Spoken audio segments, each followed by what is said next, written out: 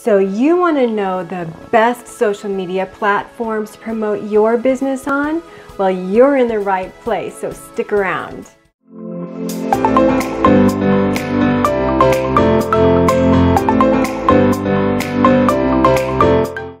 Welcome to another episode of Fearless EMPOWER Tube. I'm Sharon Koenig of FearlessPursuits.com, and this is the place to be to create a better version of you. On this channel, I create videos all about intentional living, online entrepreneurship, and of course, mindset. You're in the right place. If you're a coach or consultant and you like to promote your business online to get clients, and you want to know what the best social media platform is for you to get prospects and clients online. You're the type of person who wants to ditch the nine to five and have your own business. You want to have more freedom and you want to scale your business online. So that's why intentional living is so important because you realize that you want more time and more money to do the things that you want to do. So obviously, you want to scale your business online because you want to prospect, get leads, get clients, and make bank. So we realize that when we're online promoting our business, we have to know the right social media platform for us so that we can draw to us the ideal clients. Working with my clients, one of the first things that we talk about is who your ideal client is. It's the very beginning process because I believe that if you don't really know who your ideal client is, you won't know where they're hanging out.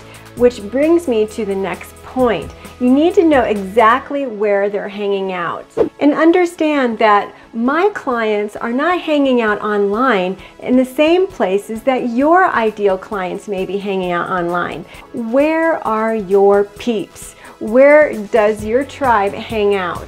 So we realize that there's a lot of social media platforms. We have Facebook and we have Instagram, we have Pinterest, and we have LinkedIn. There's so many other social media platforms that you can actually be on to get clients interested in you, but we won't go into those because I believe it's on the order of around 60.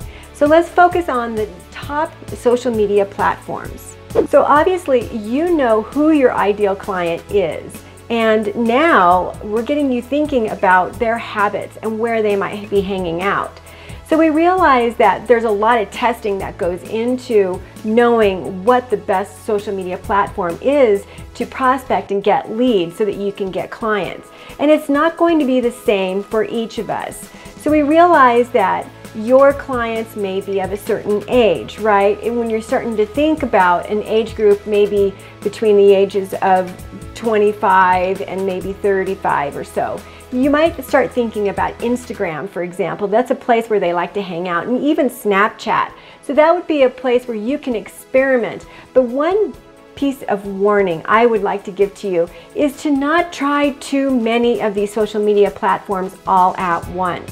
With the concept of intentional living, we as online entrepreneurs who want more freedom, we don't want to be overwhelmed and we don't want to be bogged down with too many social media platforms, which is why I want you to take a look at just honing your focus in on just one. This is really important when we start thinking about how we're going to be visible online. Talking about Pinterest, for example, that demographic is mostly female. Although there are a lot of males that are coming on board and realizing that it is a tremendous place to be marketing your, for your business. But realize that if you are an entrepreneur and you are really focused in on attracting more females, maybe Pinterest is where you should be. Is your ideal client a very visual person? Then maybe Instagram is where they're hanging out. That might be what you really enjoy. Maybe you don't like all of the notifications that Facebook has, and maybe you like the vibe of Instagram better. So that might be the place that is best for you, but thinking about where your clients are is what's really important here. If they are like you and they are more visual, then Instagram might be where you want to hang out. Talking about Facebook brings up a whole lot of issues and concerns for a lot of people. There's been issues of spam, and there's issues of being very distracted, and algorithms seem to be a lot of concern for a lot of people for good reason because we realize as intentional entrepreneurs, we want to focus our energy on something that really feels good to us so that we're not overwhelmed and feeling like we're hustling to prospect and get clients. But a lot of people are really enjoying that relationship marketing aspect that Facebook has. And if you really want to make it big on Facebook, then you've really got to know that you have to build relationships. That's first and foremost at the top of your list if you are a very sociable type person. With Facebook, you have a lot of different options to network.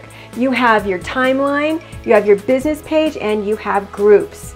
A lot of people really enjoy networking in groups, but it does become a little exhausting over time when you realize that you have to become visible, which means you have to be seen every day. You have to become helpful. You actually have to make friends with people, which is what a lot of people are turned off by. So again, if you're a very sociable person and your ideal client is there, they're socializing as much as you are, that might be where you go. But again, we are dealing with some algorithms when we're talking about our business page and our timeline. Although the timeline is a tremendous opportunity because of its organic nature.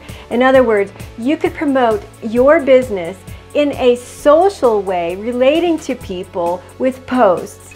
And in that way, people are attracted to you. And finally, we have LinkedIn. LinkedIn is a whole different animal and they're a lot more professional there for you. So if you're more of a direct type personality like I am, you might really enjoy being on LinkedIn. People will probably come to you and offer you their services. So just realize that it is a networking platform and people are very direct there and they have absolutely no problem offering their services and their products to you, which is great if you are of the same mindset because you can do the exact same thing without anyone feeling bad. If you did something like that on Facebook, they might unfriend you, for example. So they are two different animals, and you really should consider your ideal client, their behaviors, their personality, as well as yours. And now that I'm talking about your personality, I think this is really an important thing that a lot of people don't talk about when we're talking about the best social media platform to prospect to, and get our leads. The fact of the matter is, is that we don't want to be overwhelmed. We don't want hustle. We want to be able to become visible. That way we go from unknown to unforgettable. And in this way, we have to be on the social media platforms and we have to play the game, right? Because it's all about networking.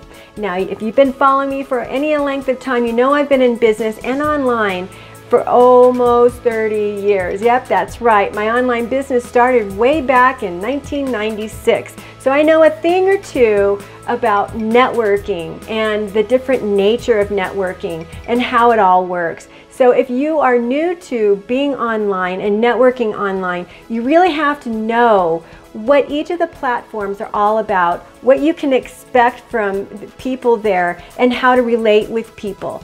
But the one thing I would like to sum this all up for is know your personality, what you like, and how you like to relate with people. Because the bottom line is, is that when you are networking with people, you've got to feel good about it.